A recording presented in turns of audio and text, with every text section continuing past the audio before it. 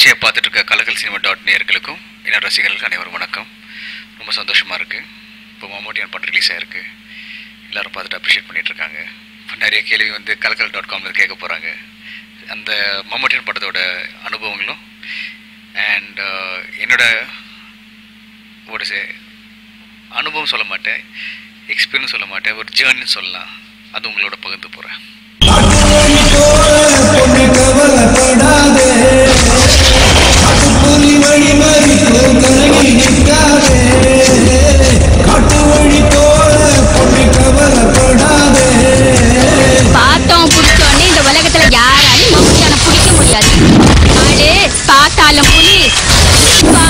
புலியாக்கும் sir நான் அப்பா ஒரு நாள் கேட்டேன் மம்மூட்டியான் ரீமேக் பண்ண எப்படி இருக்கும்? ஏன்னா வந்து என்னை பொறுத்த வரைக்கும் நான் எங்கே போனாலும் வந்து அப்பா எப்படி இருக்குன்னு கேட்க கேட்க மாட்டாங்க. மம்மூட்டியான் எப்படி இருக்குன்னு கேட்பாங்க. ஏன்னா அப்படி ஒரு ஐகானிக்கான ஒரு கேரக்டர் அவர் அந்த படத்தில் நடித்து இன்னைக்கு வந்து யாரும் அவர் பேரிச்சு கூப்பிட்றது? எல்லாரும் மம்பட்டியான் மம்பட்டியான் தான் கூப்பிடுவாங்க. எனக்கு ஒரு நிமிஷம் ஒன்றும் புரியல. இது அப்பா கேட்டதும் பண்ணலாமான்னு. யோசிச்சு பார்க்கும்போது சம்திங் சேலஞ்சிங்காக இருந்தது. வை நாட் பண்ணி தான் பார்ப்போமே. ஏன்னா என்னோட கேரக்டர் அதாவது இது வரைக்கும் நான் பண்ண நிறைய படங்களை வந்து நான் ரொம்ப லக்கி இது வித்தியாசமான படங்கள் டிஃப்ரெண்டான படங்கள். அண்ட் வந்து பெரிய பெரிய டேரக்டர்ஸ் பெரிய பெரிய காஸ்ட் குரூனோட நடிச்சிருக்கேன். நிறைய விஷயம் வந்து பார்த்தீங்கன்னா வந்து எனக்கு வந்து ஆப்பர்ச்சுனிட்டிஸ் வந்து மாதிரி நிறைய கோல்டன் ஆப்பர்ச்சுனிட்டிஸ் வந்து லைஃப்பில் அமைஞ்சிருக்கு. அதே மாதிரி ஒன் மோர் ஆப்பர்ச்சுனிட்டி இந்த மம்பட்டியான். இதே நான் சொல்கிறேன்னா என்னை பொறுத்த வரைக்கும் வேர்ல்டு சினிமாவில் ஒரு ஹீரோ ஒரு படத்தில் நடித்து அதே படத்தை அவர் டைரக்ட் பண்ணி அந்த படத்தில் அவர் சன்னை நடிக்க வைக்கிறது தான் ஃபர்ஸ்ட் டைம் நினைக்கிறேன். ஸோ இந்த மாதிரி ரேர் ஆனர் வந்து எனக்கு கிடைச்சி கிடைச்சிருக்கு இந்த படத்தில். அதுவும் அப்பாவோட டைரக்ஷனில் ஸோ ரொம்ப பெருமையாக இருக்குது ரொம்ப சந்தோஷமாக இருக்குது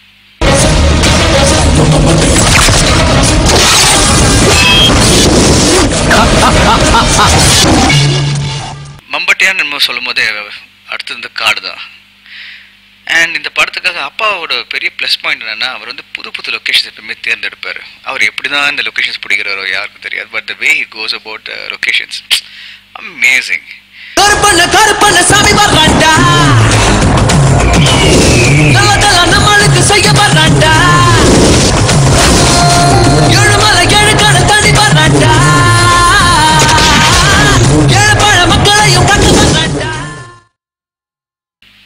நான் அவரோட கேரியரில் வந்து பார்த்தீங்கன்னா ஒன் ஒன்று பூக்கள் ஒரு படம் பண்ணியிருந்தேன். அதுவும் வந்து பாதி படம் வந்து இன்டு த ஜங்கிள் தான். பட் அதையும் மீறி வந்து திருடன்னு ஒரு படம் பண்ணேன். அதுலேயும் வந்து திரும்பி இது மாதிரி ஜங்கிள் உள்ள ஷார்ட்ஸ் எடுத்தோம். பட் இந்த மம்பட்டியான் பொறுத்த வரைக்கும் வந்து எக்ஸ்பீரியன்ஸ்னு சொல்லணும்னா நான் அதான் ஏற்கனவே ஆரம்பிச்சு சொன்ன மாதிரி எக்ஸ்பீரியன்ஸ் ஜேர்னி தான். ஏன்னா இதில் நைன்டி நைன் பர்சன்ட் வந்து லொக்கேஷன்ஸ் எல்லாமே வந்து ஃபாரஸ்ட் உள்ள தான் அந்த ஃபாரஸ்ட்னு சொல்லும் போது நான் சொல்கிறது ரியல் டீப் ஃபாரஸ்ட் உள்ளே போகிறதுக்கு எப்படியும் ஒரு ஃபோர் ஃபைவ் ஹவர்ஸ் ஆகும் லொக்கேஷனுக்கு ஸோ நாங்கள் ஒரு மூணு மணி காலைல நாலு மணிக்கு ஆரம்பிச்சோன்னா உள்ளே போய் சேர்கிறதுக்கு எப்படியும் ஏழு மணி ஆகிடும் ஏழு எட்டு ஆகிடும் அதுக்கப்புறம் வந்து நாங்கள் ஷூட்டிங் ஆரம்பிப்போம். சில நேரத்தில் வந்து லொக்கேஷன்ஸ் அவ்வளோ உள்ளே போகிறது உள்ள டயர்டாக இருக்கும். ஸோ நாங்கள் அங்கேயே தங்கியிருக்கோம். ஸோ மார்னிங் ஃபுல்லாக ஷூட்டிங் நடக்கும். நைட் ஃபுல்லாக டென்ட்டு ஃபயரு அங்கேயே மீன் பிடிச்சி அப்படியே அங்கேயே வறுத்து சாப்பிட்றது. இட் வாஸ் அமேசிங் அப்பா இந்த படத்தில் வந்து நிறைய விஷயம் பண்ணணும்னு ஆசைப்பட்டார். அதாவது ஆயிரத்தி தொள்ளாயிரத்தி எண்பத்தி மூணில் வந்து ஒரு மலையாள மலையாள மம்முட்டியில் நடித்தார் அந்த மலையாள மம்முட்டியில் நடிக்கும் போது நிறைய விஷயம் பண்ணணும்னு ஆசைப்பட்டு அது பண்ண முடியாமல் போயிடுச்சு. அதை இந்த படத்தில் வந்து அவர் என்னென்ன பண்ண முடியலையோ ஏன்னா அந்த காலத்தில் வந்து பார்த்தீங்கன்னா வசதி ஜாஸ்தி கிடையாது. ரோடு வசதிகள் கிடையாது. தங்குறதுக்கு ஹோட்டல்ஸ் கிடையாது.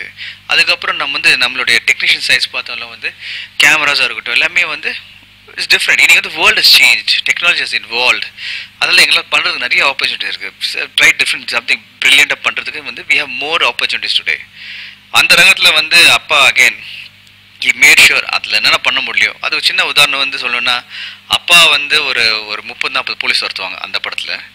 இந்த படத்தில் வந்து பார்த்தீங்கன்னா ஒரு பத்தாயிரம் பேர் வந்து துரத்துறாங்க. இட்ஸ் அ கிராண்ட் விஸ்தா இவ்வளவு நெஞ்சோட இருக்கிறவன நான் என் சர்வீஸ்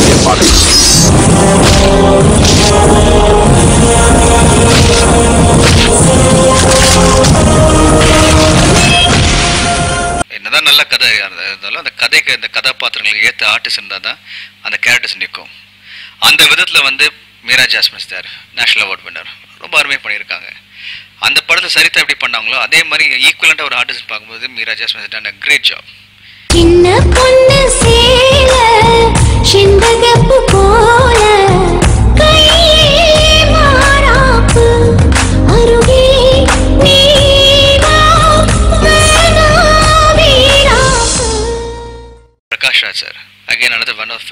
பேசவே வேண்டாம். ஃபென்டாஸ்டிக் ஆக்டர் அண்ட் அவர் வந்து வந்தாலும் சீன் கொஞ்சம் அப்படியே வந்து ஒரு கலரே மாறும். And he has again enhance the மூவின்னு சொல்லலாம். இவ்வளவு நெஞ்சோட இருக்கிறவன நான் என் சர்வீஸ்லயே பார்க்கல?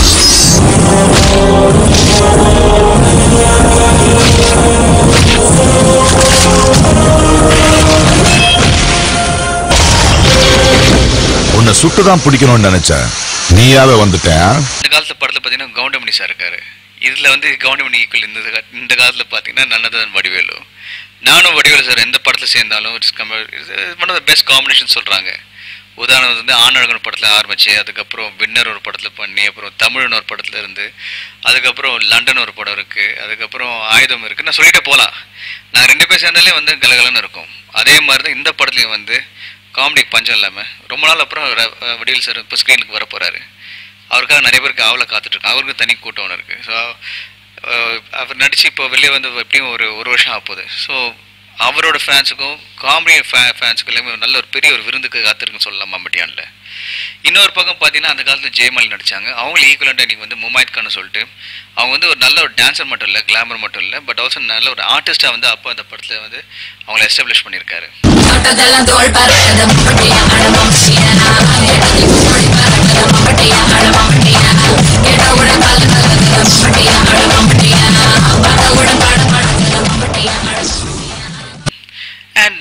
We have so many Kota Srinivasa sir இருக்காரு அதுக்கப்புறம் ரியாஸ் கான் இருக்காரு அதுக்கப்புறம் விஜயகுமார் சார் இருக்காரு அதுக்கப்புறம் கலையராணி நான் அவங்களுக்கு சொல்லிட்டே போகலாம் அந்த நட்சத்திர பட்டாலும் இருக்கு இந்த படத்தில்.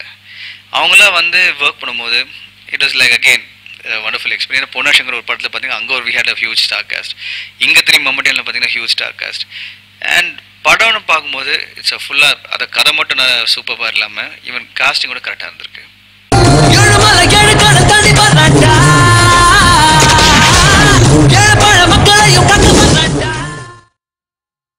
கஷ்டப்பட்டு காட்சின்னா இப்போ அந்த காலத்தில் வந்து அப்பா அந்த மலையர் மம்முட்டியான் படம் பண்ணும்போது ஒரு சீக்வன்ஸ் இருக்கு. அவர் வந்து இப்போ பிடிச்சிருவாங்க. பிடிச்ச உடனே தலைகழ தொங்க விட்டுருவாங்க. அவர் எப்படி அந்த தலைகழ தொங்குறதுலேருந்து எப்படி சோலோவை எஸ்கேப் ஆகிறது வந்து ஒரு ஹைலைட்டான மேட்டர் அந்த காலத்தில். நிறைய பேர் அப்ரிஷியேட் பண்ணாங்க. ஆடியன்ஸ் எங்கே பண்ணாலும் ரொம்ப என்ஜாய் பண்ணாங்க அது. ஸோ அதே சீக்வன்ஸ் இந்த படத்துலேயே வச்சிட்டாங்க. வச்சாலும் வச்சாங்க. ஒரு நாள் முழுக்க தலைகழன்னு தொங்க விட்டாங்க. அது யோசிச்சு பாருங்களேன் ஒரு நாள் முழுக்க தலைகழ தொங்கி அதை நடித்து அதுக்கப்புறம் அந்த எல்லோரும் வந்து என்னென்னா ஆனால் எனக்கு கொழுப்பு ரொம்ப ஜாஸ்திங்க. தலைகழ தொங்கன்னு தெரிஞ்சோம் மதியானம் பார்த்தா நல்லா கட்டு கட்டுன்னு திரும்பி அதுக்கப்புறம் தலைகழ தொங்கினேன். நல்ல வேலை ஒன்றும் ஆகல பட் ஸ்டில் இட்ஸ் இந்த மாதிரி பீங் அன் ஆக்டர் இது ப்ளஸ் பாயிண்ட் என்னன்னா நிறைய விஷயம் வெளி உலகத்தில் வந்து நிஜ வாழ்க்கையில் நம்ம சில விஷயம் பண்ண முடியாது. அதெல்லாமே ஒரு நடிகனை வந்து பண்ணுறதுக்கு ஒரு வாய்ப்பு கிடைக்குது. அண்ட் இந்த அதே மாதிரி சீக்வன்சஸ் இந்த படத்தில் அமையும் போது அது வந்து அந்த நான் ஒன்று அப்ரிஷியேட் பண்ணோம் அப்பா அப்ரிஷியேட் பண்ணோம். ஏன்னா இன்னைக்கு வந்து அவ்வளோ சேஃப்டி வச்சுட்டு அவ்வளோ எக்யூப்மெண்ட் வச்சுக்கிட்டு நம்ம வந்து பண்ணுறோம் அன்றைக்கி எந்த ஒரு சேஃப்டி இல்லாமல் எக்யூப்மெண்ட் இல்லாமல் அவர் படத்தை வந்து தைரியமாக வந்து தலையில் தூங்கிட்டு அது எப்படி தான் பண்ணாரோ ஒரு வாட்டர் ஃபால்னு ஜம்ப் பண்ணோம். யூஸ்வலாக வந்து ஸ்டான்ஸ் எல்லாமே நான் வந்து நான் டூப் இல்லாமல் பண்ணுவேன். இதோட பண்ணலாமா? கீழே பார்த்தா ஆழம் வந்து செக் பண்ணணும். அதுக்கப்புறம் இன்னொரு விஷயம் வந்து அந்த அந்த ஷார்ட் எடுக்க முன்னாடி பார்த்தா அந்த ஃபாரஸ்ட் ரேஞ்ச் எல்லாமே ஃபாரஸ்ட் தான். அந்த ஷார்ட் எடுக்க போகிறோம் எடுக்க போகிறது சடனாக ஒரு ஃபாரஸ்ட் ரேஞ்சர் வந்தார். என்ன பண்ணுறீங்கன்னு ஷூட்டிங்கா சரி சரி பார்த்து பண்ணுங்க உள்ள முதல்ல இருக்குன்னு சொல்லிட்டு போயிட்டார். என்னது முதலையா? அதுக்கப்புறம் லைட்மெல்லாம் உள்ளேருந்து வெளில வெளில வந்தாங்க. அதுக்கப்புறம் அப்போ வந்து என்ன ஷார்ட் ரெடியா ஷார்ட் ரெடிங்க பட் உள்ள முதலெல்லாம் இருக்காமே. அதில் இருக்கட்டும் பிரஷாந்த் ஜம்ப் பண்ணிட்டார். என்னது? ஜம்பா சரி ஓகே பயம் அப்பா சொன்ன அப்புறம் நெக்ஸ்ட் பண்ணி தானே ஆகணும். ஸோ அதை ஜம்ப் பண்ணி அப்புறம் முதல்ல ஹலோ சொல்லி அது என்ன பார்த்து ஓட நான் அதை பார்த்து ஓட ஜாலியாக தான் இருந்தது.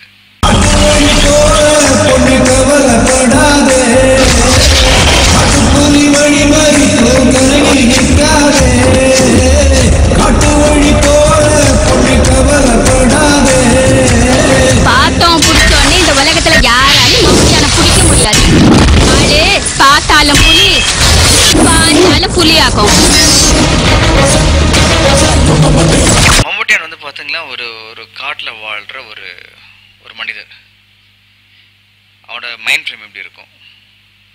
சுற்றி முற்றி பார்த்தா இப்போ டுவெண்ட்டி ஃபோர் ஹவர்ஸ் வந்து அவனை துரத்திட்டே இருக்காங்க. நிம்மதி இருக்காது.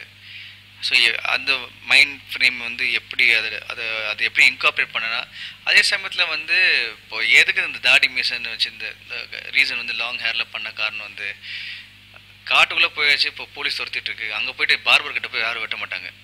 என்ன எங்கே இப்போ வந்தாலும் யார்கிட்ட மாட்டினாலும் காலி. ஸோ அந்த மாதிரி கேரக்டர் எப்படி ஸோ அதுக்காக தான் என்டையர் கேரக்டர் கேரக்டரைசேஷன் அண்டர்ஸ்டாண்ட் பண்ணிட்டு அதுக்கு தேவையான வந்து த டிஃப்ரென்ஸ் இன் ரோல்னு சொல்லிட்டு காமிச்சு we also did lot of homework on this end of the day வந்து இந்த மொமெட்டியான் படம் பண்ணும்போது இதில் ரிஸ்க் நிறைய எடுத்திருந்தேன்.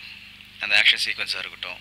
இவ்வளோ நார்மல் டயலாக் பேச சீனில் கூட எங்களுக்கு ரிஸ்க் ரொம்ப ஜாஸ்தியாக இருந்தது. ஏன்னா அந்த மாதிரி லொக்கேஷன்ஸ் அப்பா தேர்ந்தெடுத்தாரு. ஒரு சீக்வன்ஸ் பேசுவோம். ஒரு அஞ்சு பேர் நானும் என்னோட uh, தம்பிங்களாம் உட்காந்து பேசுகிற மாதிரி ஒரு சீக்வன்ஸ் இருக்குது அந்த சீக்வன்ஸ் அங்கே போய் ரீச் பண்ணுறது ரொம்ப கஷ்டம் வந்து ப்ளஸ் எங்களை வந்து மேலே ஏற்றிட்டாங்க பார்த்தா சுத்தீர வழுக்க அப்படியே பாறை வழுக்கிட்டு இருக்கு. அங்கே போய் நிற்க வச்சு எல்லாருக்கும் பயந்துட்டு இருந்தாங்க. என்ன ஆகும் என்ன த ஸ்லிப்பான கீழே தான். எப்படியும் ஒரு மூணு நாலு ஃபீட்டு கீழே விழுவும். பட் அதுலேயே போய் நின்று ஒரு ஒரு சீக்வன்ஸில் வந்து வி கெட் ஆஃப் வேணும் ஒரு ரிஸ்க் எடுத்து பண்ணும். அண்ட் பர்சனலாக வந்து அப்பா ஏற்கனவே மொமெண்ட் வந்து எஸ்டாப்ளிஷ் ஆயிருந்தார். ஸோ நான் என்ன பண்ண முடியல என்னோட டிஃப்ரென்ஸ் என்ன? ஸோ நிறைய ஹோம்ஒர்க் இதில் பண்ணோம். ஒரு டேரக்டர் வந்து ஒரு ஹீரோ வந்து லவ் பண்ணோம் ஃபர்ஸ்ட் அதுக்கப்புறம் லவ் பண்ண ஆரம்பிச்ச அப்புறம் தான் அந்த டேரக்டர் வந்து இந்த ஹீரோட ப்ளஸ் பாயிண்ட்ஸ் என்னென்ன அது எப்படி காமிக்க முடியும்னு சொல்லிட்டு அவங்களே வாலண்டியர்ஸ் நிறைய விஷயம் பண்ணுவாங்க. என்னை பொறுத்த வரைக்கும் அப்பா வந்து ஹீனோஸ் ஆல்வே ப்ளஸ் பாயிண்ட்ஸ் அவர் தவிர்த்து வேறு அவர் தானே அவருக்கு தான் அவருக்கு தெரியாம வேறு யாருக்கு தெரிய போகுது? And as an artist I'm lucky to have such a director என்னோட ப்ளஸ் பாயிண்ட்ஸில் எப்படி காட்டணும் அது எப்படி வந்து இன்னும் ஒரு சீக்வன்ஸ் எப்படி யூஸ் பண்ண முடியும்? என்னை வந்து யூ பிலீவ் நம்புறீங்களா இல்லையா? ஒரு இருக்கிற எல்லா வாட்டர் ஃபாலையும் என் அப்பனை குதி குதிக்க சொன்னார். Because I'm able to swim good ஸ்விம்மர்னால அருவி கரண்ட்லாம் வாஸ் அவ்வளோ ஃபாஸ்ட் அந்த ஃபெரோஷஸ் இருந்தது. அதுலேயும் வந்து அப்பா வந்து he made me swim and I enjoyed it once and winching other side the danger so much but danger you not worried about the danger so இந்த மாதிரி நிறைய வந்து நான் வந்து படத்தை பொறுத்த வரைக்கும் we have a lot of wonderful experience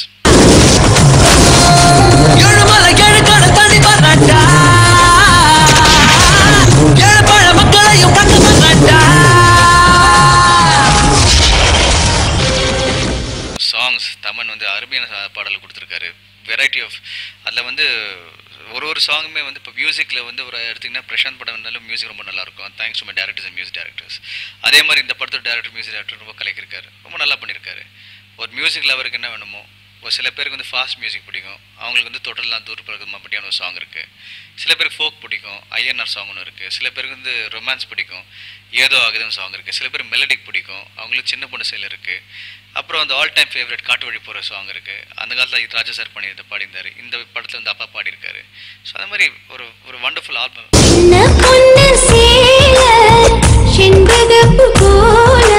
சின்ன பொண்ணு சேல செண்பகப்பு போல.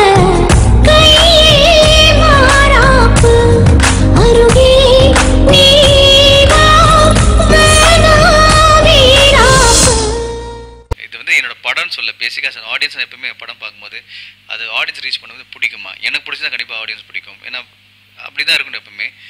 அண்ட் என்னோட படங்களை நான் நான் வந்து திரும்பி அதை மிகப்படுத்தி பேசுகிறதோ இல்லாட்டி அதை தூக்கி பேசுனா நான் பண்ண மாட்டேன். நல்லா தான் நல்லா இருக்கு. நல்லா நல்லா இல்லை. ஸோ நான் படம் பார்த்தேன்.